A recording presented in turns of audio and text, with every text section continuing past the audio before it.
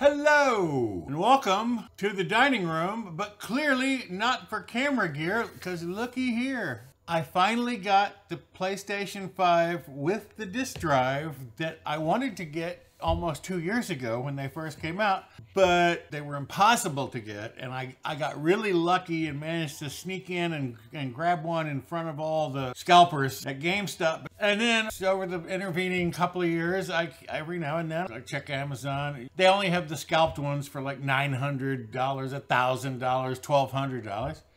Well, the other day I got on Amazon and it said request an invitation, and apparently within 72 hours they'll invite you back. Well, they didn't invite me back.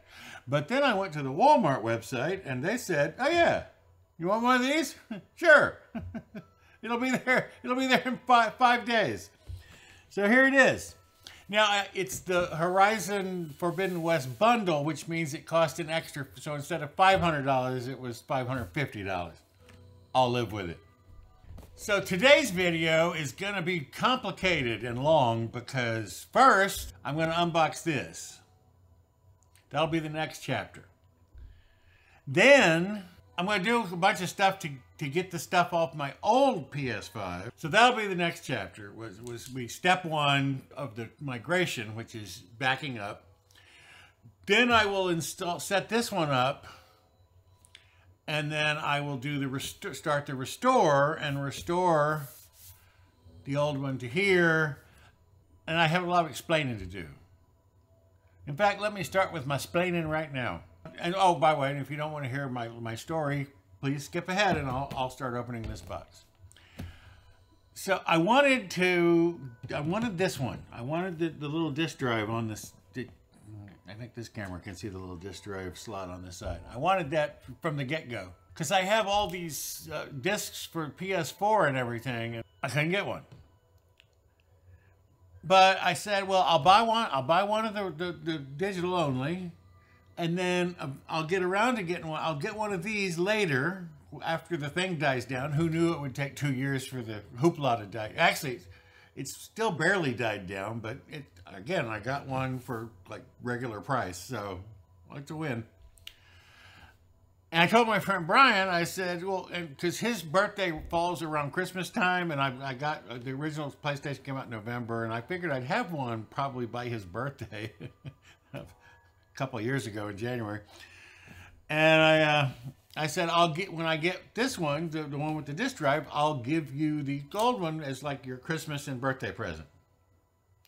Well, that Christmas came and went, and birthday came and went, and then another Christmas and birthday came and went, and we're coming up on another Christmas and birthday, but this time he's actually going to get it.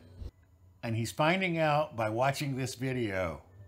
So if, if you think I'm excited, you can't imagine how excited he's going to be when he sees this and knows that he's getting, well, and I, and I just said it, but I think he figured it out as soon as he saw it. Oh my God, I'm getting a PlayStation 5. So I've seen other people unbox, uh, in fact, this particular edition, because apparently the log jam broke and everybody who, has been, I just, I watched a video, some guy, he's been, he has not, this is his first one. He's been trying to get it since it came out. But I know from those videos, where I'm going to put this on the floor because you know what's in this box?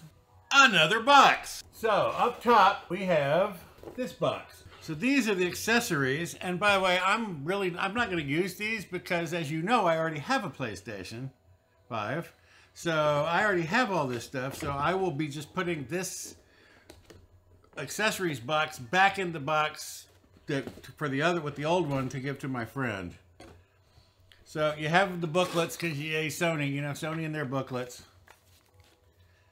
But there's a quick start guide, which my friend will need. The stand, which is very cool. See, it comes ready to, for if you're going to lie it on its side, this hooks onto the back.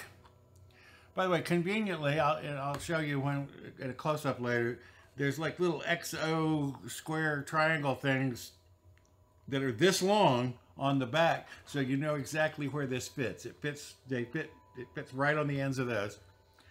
But if you're gonna screw, if you're gonna stand it up straight, then you turn this this way and look, a little screw pops out so that you can put a screw in and take the, So it's very ingenious. I lie mine on, on its side an HDMI cable. And by the way, uh, if, the person whose video I saw was saying, oh, it's just a regular run-of-the-mill HDMI cable. No, it's not. This is an HDMI 2.1 cable that is guaranteed to support 4K 120 hertz. The power cord, again, I have a power cord, and so I'll be using the one I have. And we have the, the controller, but of course I already have two that came with my last one, which I will be keeping and using. So like I said, this whole box is going, oh, and then here's the USB-A to USB-C cable for charging and connecting DualSense controller. We will come back here later because I'm going to transfer my M.2 SSD from my existing PlayStation to the new to, to this PlayStation so I'm going to do that here. So this is basically a, a complete migration guide from PS5 to PS5. And if you take out the backup and restore part, it's a setup guide for a PS5. And it's also a guide to how to put, put it in M.2, uh, but it's also how to take one out and move it over. So this video will cover most of your setting up a PlayStation 5 needs. So I erroneously thought that when I moved the M.2 SSD to the new PS5, it would format it, which it turns out it doesn't. So I didn't have to do this, but what I'm doing is copying my PS5 games off of the M.2 SSD onto console storage because console storage is all that you can back up. You cannot back up the M.2 SSD or the uh, USB drive with your PS4. So here, you know, it was 37 minutes. It wasn't a big loss. But then once that's done, I can go back. See, there's the free space. I've filled up. Now, now I can go to System and go down to Backup and Restore and back up my PS5. that first step took two minutes. And there's the name of the file it's going to create on the USB drive. And here we go.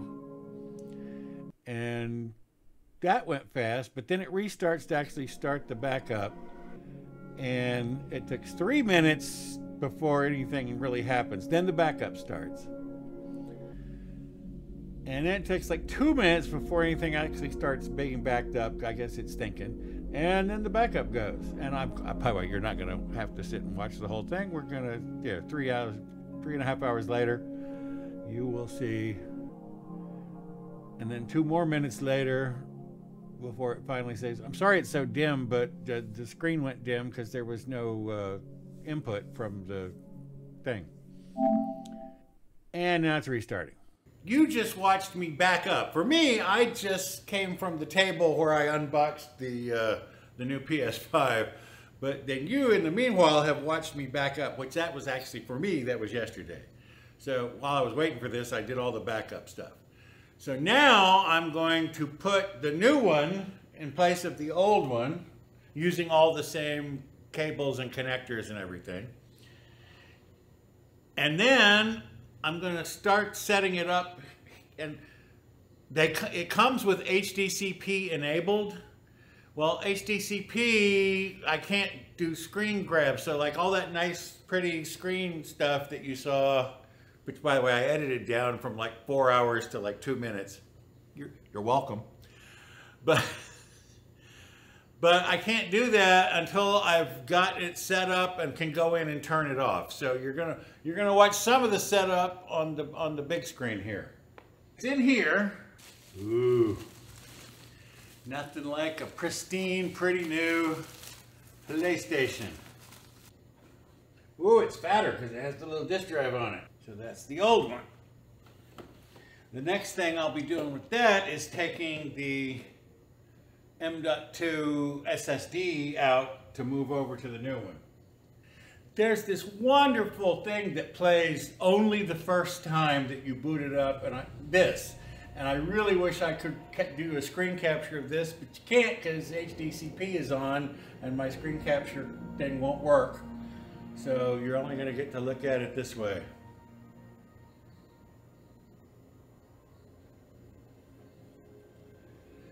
Believe that's what's going on right here, isn't it?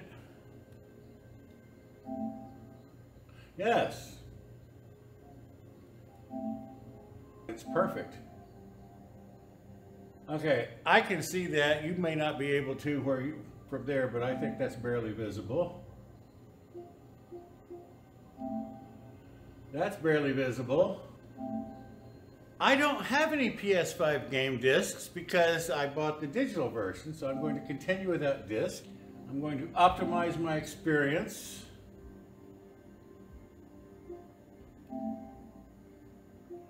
I'm going to agree to the terms and conditions. I don't, I don't know, I, I went by real fast. It said I'm, I'm actually agreeing for everyone who will ever use this.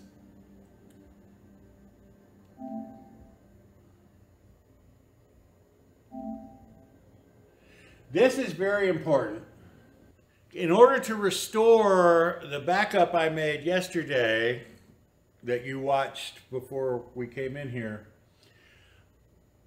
they have to be the same, the system software has to be the same level. So you have to update the software on your new one before you try to restore your old one.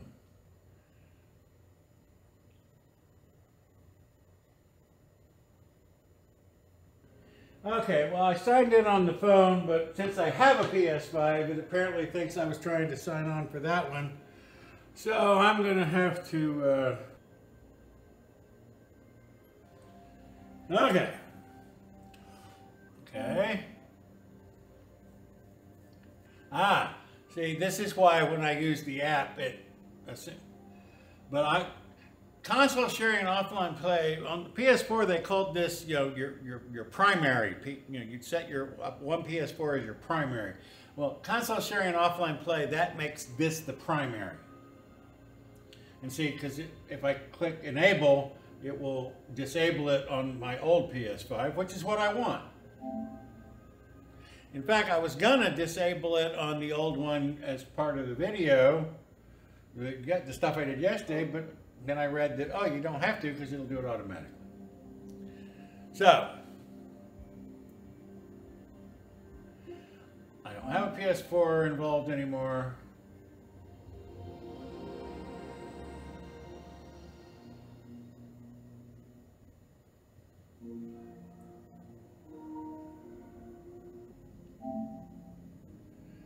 So now, system, HDMI right here. Boom. Disabled HDCP, which means now I can capture the screen with my Elgato device.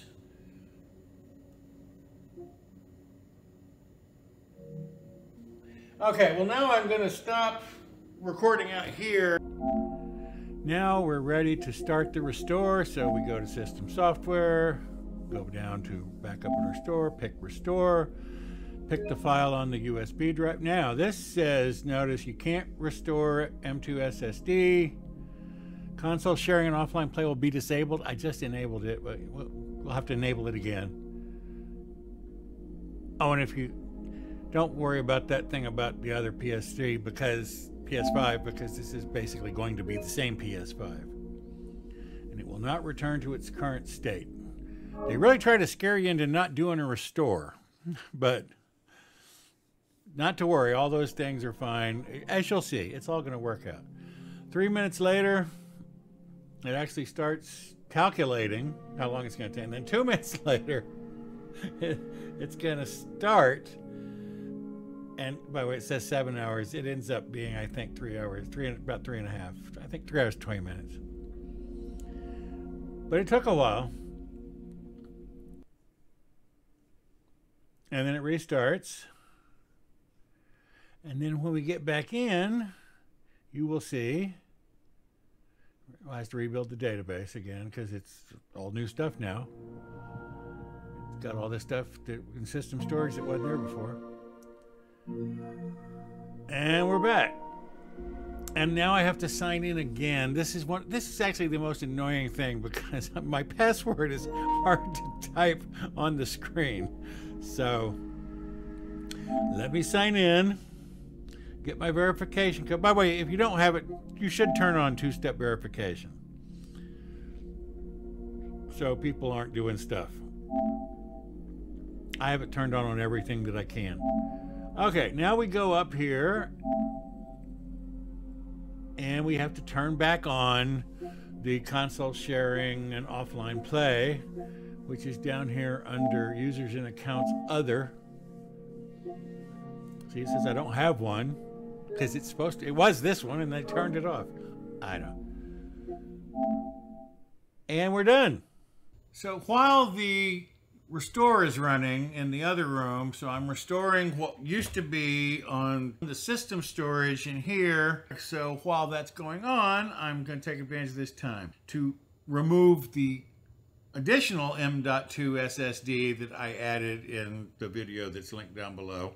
It's relatively easy. The key is to have the PlayStation in the appropriate direction which is facing down. If you have the disk drive one, it's easy because the, the disk drive would be on top because in the normal position, the disk drive is on the bottom. But here, it's it, if you're looking at the back, here's the, the, the front swoopy part, which would be at the top if it were standing up. And your power is on your left, well, then it's upside down.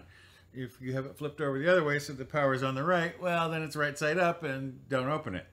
Well, you can open it, but eh. And all you do is you grab this corner and lift a little bit and then push. Now I have done, I've taken this cover off so many times that it just sl slips right off. The first time you do it, there'll be a little bit of pushback. But here is the SSD cover. So you remove this, it's a Phillips head, and it's a little tiny Phillips head, but if you have like an iFixit kind of uh, screwdriver, you'll be fine. And then you take this cover off.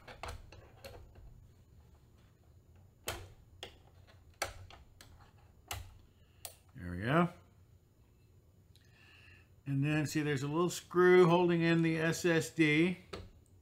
You'll see how, how this works the other way when we I, I reinstall this M.2 SSD into the new PS5 because this is a two terabyte Samsung Evo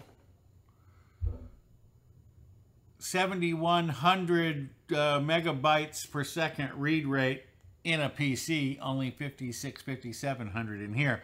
But as long as it's over 50, any SSD that does 5500, you're good. And of course, they're all rated now. But when I did it, you were this kind of crapshoot. But now they, they, they, all say, you know, four PS5. The key thing is you want some sort of heat sink. And you need, for, for airflow reasons, you, you, they recommend, they strongly recommend this cover being on it. Which, but it means if you put too big a heat sink on, then the cover won't go back on. So again, uh, read some forums, look, shop around, but you can find out find one with a heat sink. I I this one did not come with a heat sink. I bought this little Ice PC heat sink on Amazon. And it's worked fine. It's well, I, I don't remember how long it's been. It's been months and months since they've uh, since you've been able to have it. I put it in like as soon as that software update came out, I got one.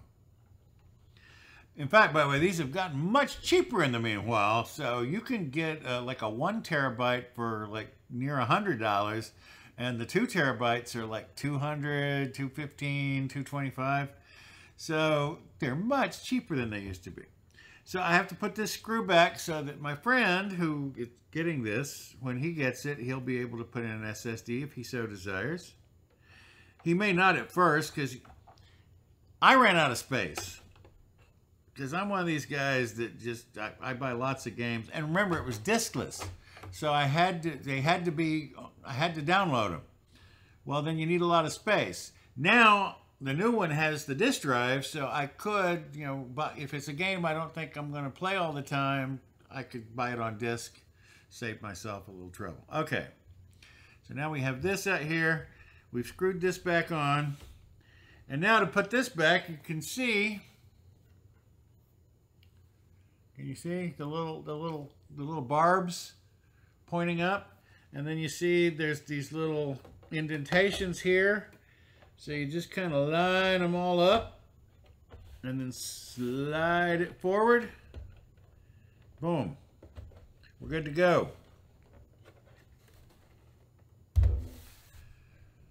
And of course you do know, I'm sure that you can replace these panels. Sony sells them. dbrand sells them. Actually, I was considering the dbrand because they uh, they have cutouts. You know where that you saw where the fan was. Well, they have cutouts here, but I'll link the video down below. Uh, a guy tested it. Actually, NAS guy. He, he, he generally does storage stuff, but he he did temperature testing on the different covers, and he found that there was no difference. Having the having the openings here for the fans I think it was like one degree cooler. But you do want the heat sink because especially the, the while the memory if the memory uh, chips the NAND chips get hot no big deal. But the controller if the controller gets overheated it it starts throttling and slows down and you do not want your SSD slowing down again never had a problem and this is the Samsung Evo with a little cheap Ice PC. Just as long as there's some sort of heat sink, you'll, you'll be fine. Actually, you'd probably be fine without a heat sink, but you know, if, if you can get one relatively cheap, and a lot, and again, a lot of them come with them now. So, okay, so we're done with this one. When the restore finishes in there, we'll bring that one in here and put this into the into the new one, and then we'll hook this one back up and brain wipe it, do a system, a factory reset, set it back to new from the factory, so I can give it to my friend, and we'll be off and running. So now, now I know it's upside down. It's upside down because I have, uh, well, here. See, there's the uh, the disk slot. So again, you pull up here. Now this one's never been opened. It's hard the first time. Whoa! That was exciting. Oh, uh, I don't know if you... Oh, well, this is the different... These are much wide. They stick out much farther, but I guess that's because of the disk drive here. So, this is exciting.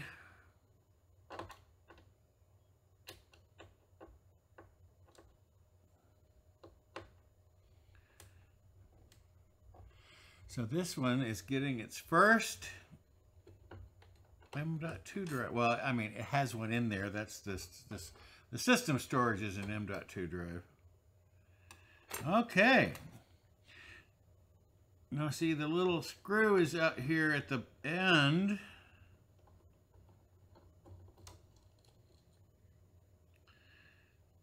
So we're going to move the little spacer down here because that's where this one's going to reach to. And you slide it in there.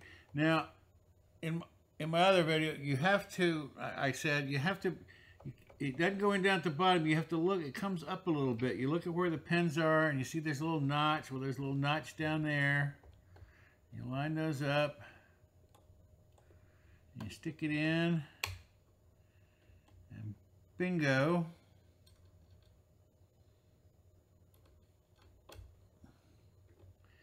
And if you can get the screw in, well then you've, you've seated the pins correctly. Sorry if my big fat hands are like.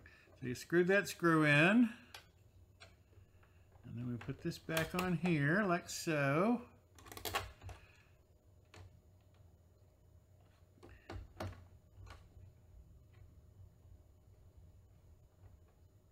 Okay, and we have now moved the M.2. Now I'm going to go back in there. Oh, oh, I see. See, th this one, it had things down here. But here, there's this big disk drive in the way. So these have to grab a lot harder. That's why it was so hard to open. So I learned something new. If if you have a, a, a disk drive, it's a lot harder to get this thing off. And by the way, and apparently it's a lot harder to get it to line up.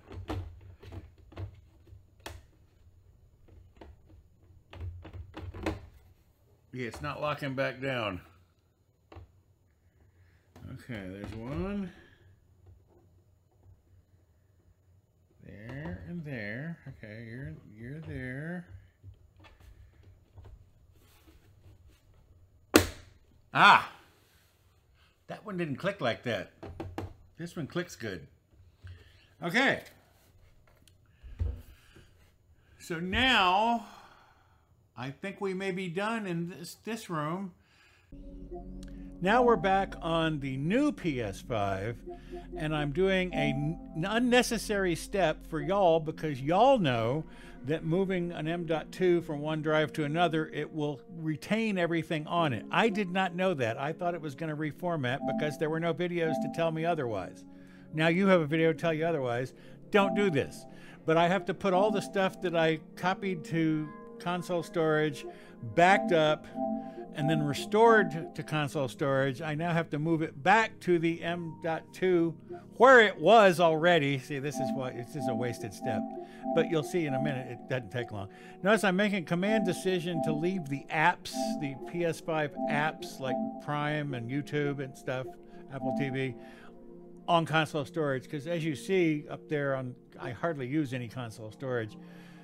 Console storage is primarily where my save files are. Eventually, I'll fill up the SSD and the M.2 and I'll have to use console storage.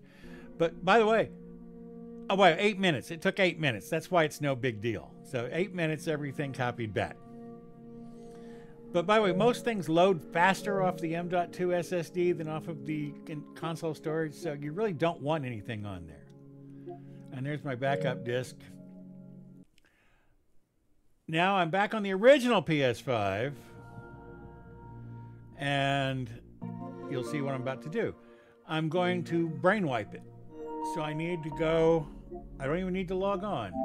I just need to go to settings, go to system, go all the way down to the bottom of system software where it says reset options, and pick reset the console all users and data, everything will be delayed. Basically, it's being wiped back to the state it came in from Sony. So I'm wiping it. So when I give it to my friend Brian, it's ready to go. Mission accomplished. And I learned some things today, which I get to share with you. What you saw, one, is that if you move an M.2 SSD to another PlayStation, now it may have to be one that's been restored with your stuff because you know all the all the all the things on the SSD were tied to my, my, my user ID, my account. So maybe that's, I didn't have to do the copy everything off the SSD to console storage and then restore it and then copy it back. So I, it was a few hours. It was, by the way, if it if it hadn't worked, I would have had to re-download all those things. And there's a couple of videos you can go see about the difference between the speed of copying over and copying back versus downloading from the PlayStation Store. And the difference is tremendous. Like I, I think one, it was like 14 minutes, seven minutes to copy it over, seven minutes to copy it back, and it was you know 38 minutes to download it. So 14 minutes versus anyway. But but here's a review. So if you're if you if you get a new PS5 and you want to migrate your stuff from your old PS5 to your new PS5, step one is back up your old PS5. You don't have to do all the copying stuff I did because apparently you can move an M.2 and it will recognize everything on it. You back up, then you take your new one, you do the restore, update the system software. They have to be on the same system software for the restore to work. So make sure your new one has the, the latest system software, then do the restore, and now everything's back. And then, if you like like me, if you have the uh, the the M.2 SSD, you can move that over. And if you have a USB, you know, extended storage for your PS4 games, and by the way, this is where I ran into a little difficulty because mine apparently had been gotten corrupted and the PlayStation didn't recognize it. Either one, neither of them recognized it. But it thought I still had it. I, it thought I, the games were still there, but they weren't. So I had to go into safe mode, which, by the way, if you ever do this, hold down the power button for seven seconds until it beeps again. It'll beep when you touch it first, and then keep holding it down. It'll beep again after about seven seconds. It'll go into safe mode. You will have to plug the controller in with a cable, the USB cable, but then you can hit rebuild database and it'll go through and discover that, oh, that USB drive that I thought was there isn't there. And so it'll rebuild the database.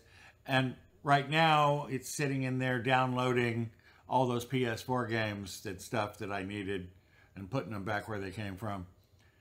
So, so restore. Oh, and then after you're done, your original, go in and hit the reset all the way down at the bottom of that menu. Go to system and then you go down, you know, reset. And now that is like a new PS5. So, Brian, if you're watching this, you might want to take me to lunch tomorrow and uh, pick up a new PS5 for yourself. Just saying.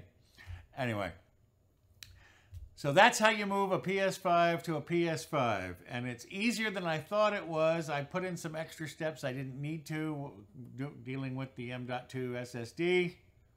My bad. Oh, but I did learn I did learn a little tip watching some videos trying to figure out what was going on. If you hit when, when you're on the, the, the main PlayStation screen, you know, you, you hit up and then you have to go all the way over to get to like the system and everything. Well, if you hit the triangle button, it jumps over to the right side of that top thing across the top.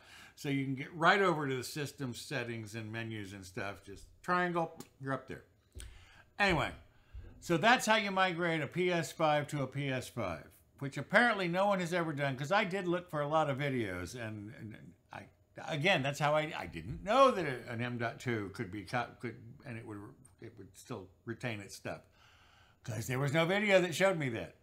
So now there's a video on YouTube that shows you all that. So I hope that you're watching this, that it helps you do your migration. It really isn't hard. It's just, it's time consuming. And you can run into troubles like my USB drive where I had to go and rebuild the database and stuff. But again, Google. Google is your friend. And YouTube. Oh, and Google will search YouTube. Anyway. So that's my new PS5. Thanks for stopping by. See you next time. Bye bye.